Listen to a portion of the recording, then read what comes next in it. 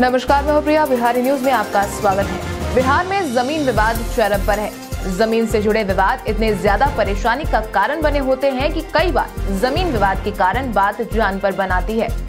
हालाँकि जो बिहार में रहते हैं तो वो तो फिर भी अपनी ज़मीन से जुड़ी समस्याओं को सुलझाने के लिए मौजूद होते हैं।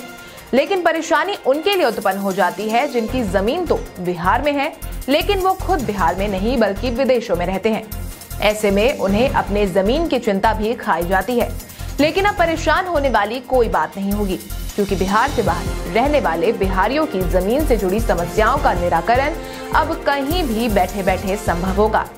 ऐसा हम इसीलिए कह रहे हैं क्योंकि राजस्व एवं भूमि सुधार विभाग की तरफ़ से पिछले कुछ सालों में शुरू की गई ऑनलाइन सेवाओं की जानकारी दी जानी है। यानी कि अब तय है कि राजस्व एवं भूमि सुधार विभाग विदेशों में रहने वाले अप्रवासी बिहारियों की ज़मीन संबंधी समस्याओं का निपटारा करेगी। खासकर अमेरिका में रहने वाले बिहारियों के लिए बेहद ही खास होने वाला है।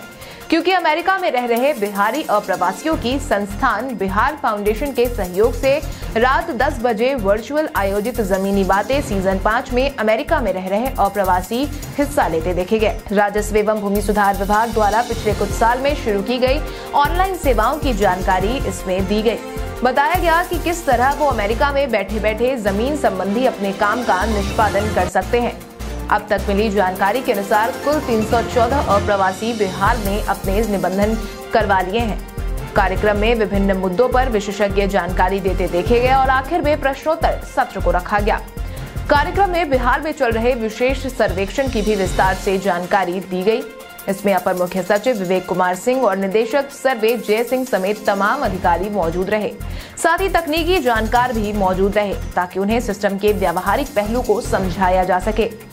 गौरतलब है कि बिहार के 20 जिलों में विशेष सर्वेक्षण चल रहा है। बचे हुए 18 जिलों में सर्वेक्षण शुरू होने जा रहा है। जैसा कि आप सबको पता है कि बिहार में ही ज़मीन से संबंधी मामलों की अंबार है। अंबार का बोझ सुलझाने के लिए बिहार सरकार भी लगातार काम कर रही है। जिसके बाद उम्मीद है कि आने वाले समय में बिहार सरकार ज़मीन संबंधी मामलों को और तेज़ी से सुलझाने में कामयाब होगी। क्योंकि अब बिहार से बाहर रहने वाले लोगों की ज़मीन संबंधित समस्याओं को सुलझाने का बेड़ा बिहार सरकार ने उठाया है। बिहार सरकार की यही कोशिश है कि चाहे कोई व्यक्ति बिहार का रहने वाला है या फिर बिहार के बाहर का रहने वाला है, उनकी ज़मीन से संबंधित सभी समस्याओं का निपटारा विभाग की पोर्टल पर उन्हें आसानी से मिल जाए, ताकि डिजिटल की इस दुनिया में लोगों को कार्यालयों के चक्कर एक तो ना लगाने पड़े। ऊपर से, अगर वो किसी और देश में रह रहे हैं तो ऐसे में उन्हें घर बैठे बैठे बिहार में ज़मीन से जुड़ी समस्याओं का निपटारा करने में आसानी हो। इसके साथ ही आज की इस वीडियो में बस इतना ही। तब तक के लिए धन्यवाद।